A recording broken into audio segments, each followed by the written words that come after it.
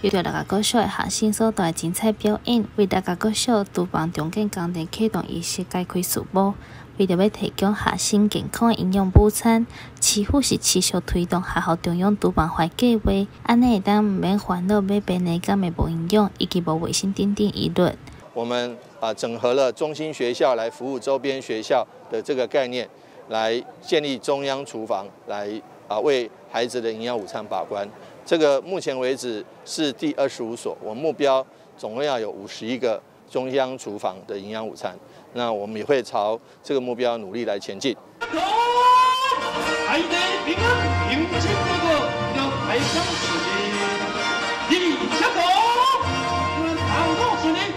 中建工程正式启动了，未来完成就会提供营养中道等，和周边十间学校透过安尼中央督办的模式，和毋管是大校也是较细间学校，都会当食着健康的中道等。而市府嘛持续向中央争取预算，继续协助二十五间学校的督办做识别升级，也是改建，和更较侪学校会当减轻主办营养中道等的负担。